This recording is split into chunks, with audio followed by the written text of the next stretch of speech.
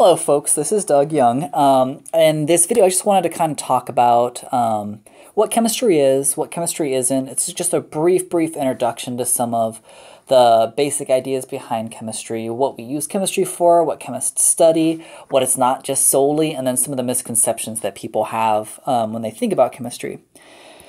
So normally, right, when people think about chemistry or chemists, they picture things like this, right? They assume that we just sort of do a whole lot of pouring potions back and forth, which is fun, I'll admit.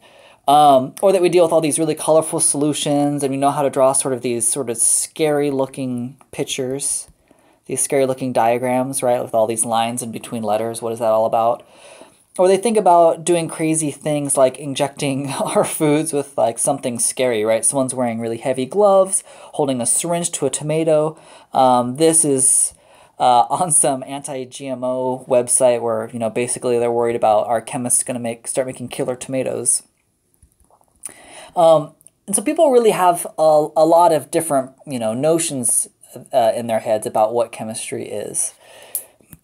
Whenever I ask my students what you know it means to study chemistry, I get a lot of different answers, but the one that I get the most is that people say that the definition of chemistry is the study of chemicals, um, which I think is pretty funny, right? So the study of chemicals.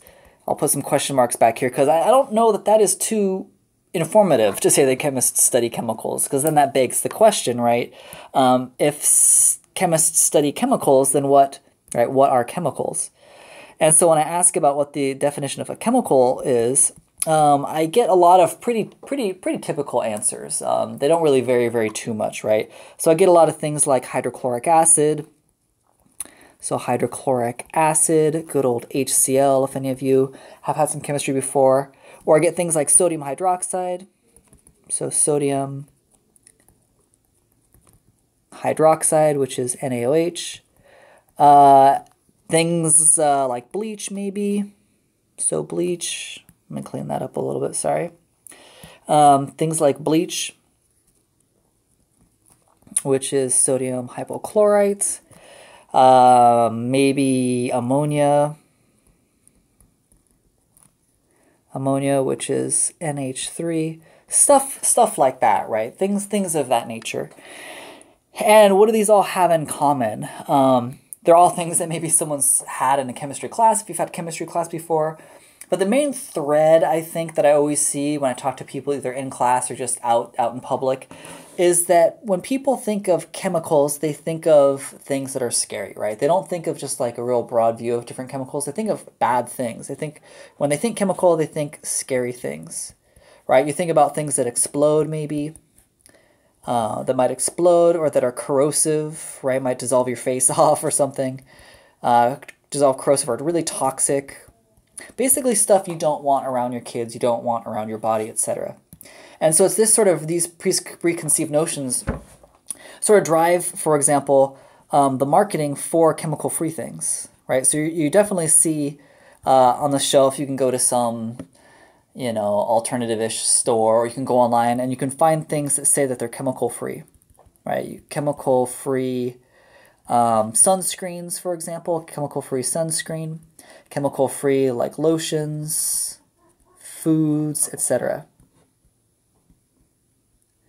Stuff like that. So, because people are so afraid of chemicals, they try to get rid of them in, in our basic products, right? You don't want to hand your child, right, a bottle of bleach or ammonia or have someone rub hydrochloric acid on their face. Probably not a good idea.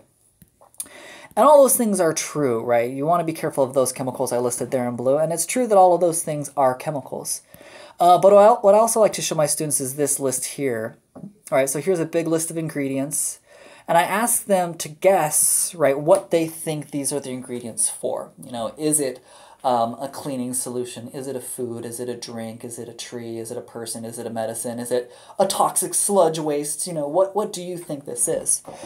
And, you know, so they'll point out things like, oh, hey, it looks like there's a lot of water in it. And they notice that there's some sugars, so like sucrose is your table sugar, and fructose you may have heard of. Um, these are a bunch of amino acids. And so at first, as you go down this list, things may look um, not so bad. I mean, aqua is just water again, and sugar and amino acids. Those are pretty common, pretty fine. But then as you start to get about halfway through this, then you start to see words that seem a little less familiar, right? So people are like, well, what's what does stearic acid mean? What's oxalic acid?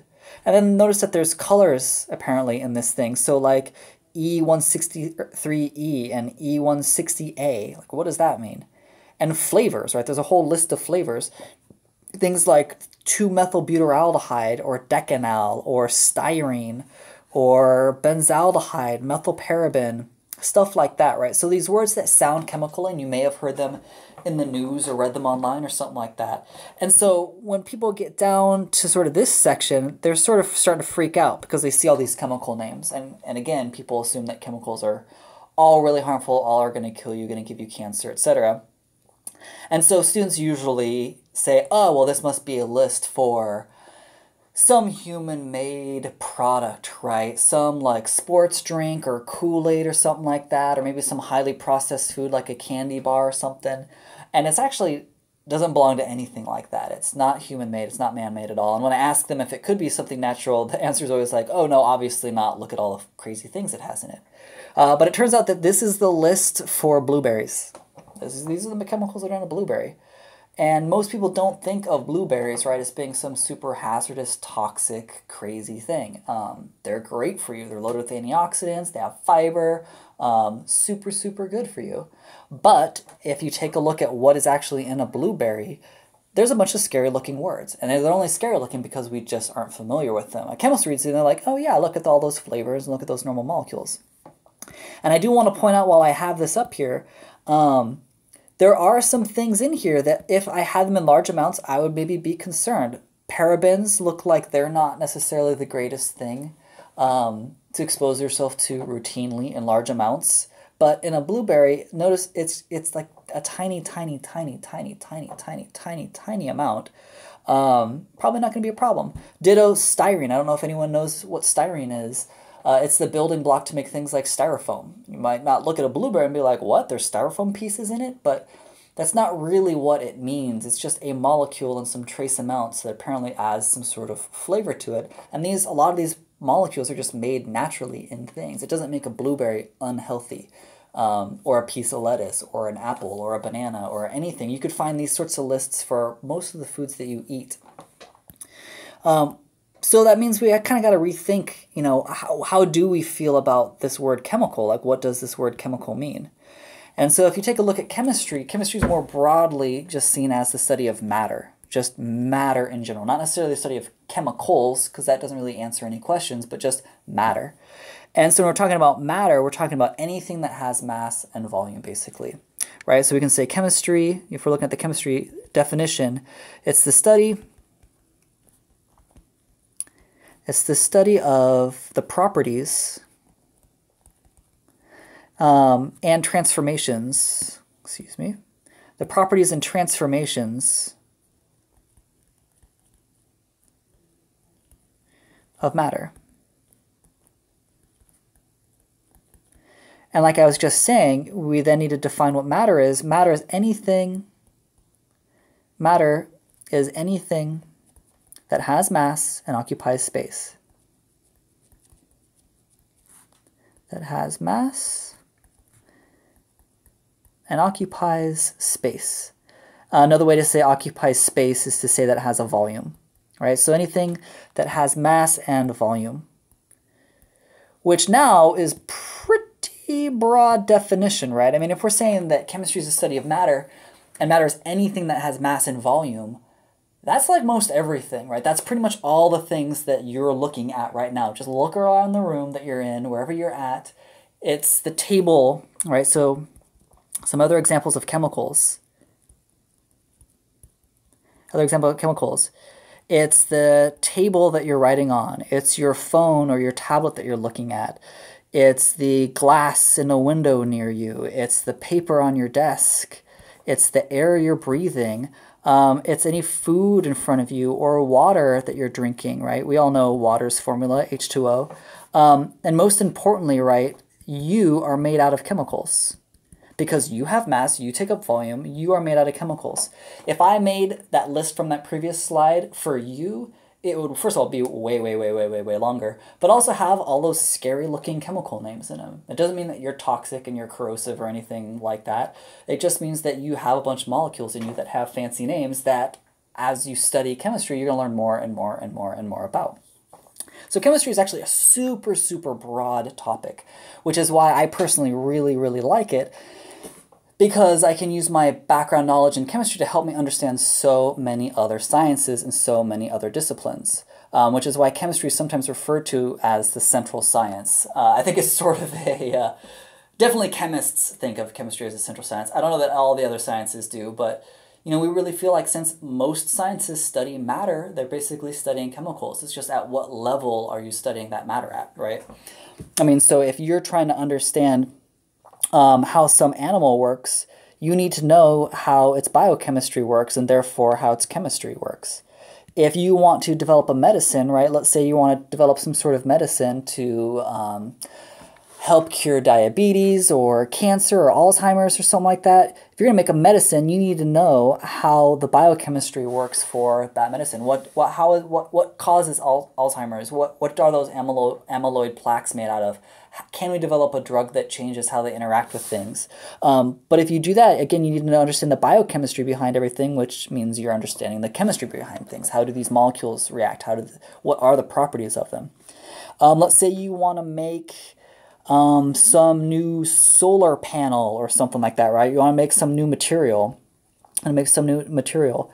That means that you're going to be studying physics and materials, which of course are made out of chemicals also. You need to understand, oh, well, these types of metals are semiconductors and these are N-dopes, N-dopers and P-dopers. And so, um, you know, it changes the band gap of this and that. And you're going to end up studying chemistry also.